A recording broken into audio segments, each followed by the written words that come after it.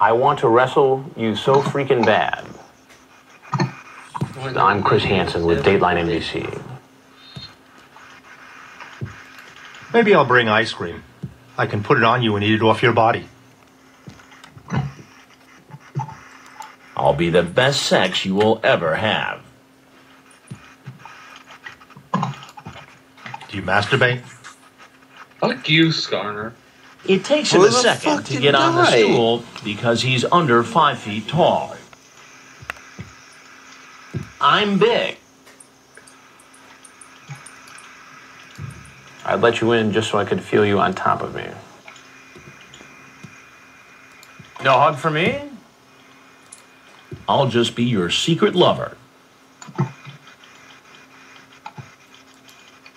So, what part of the, the Bible tells you to say all this kind of stuff here in the chat?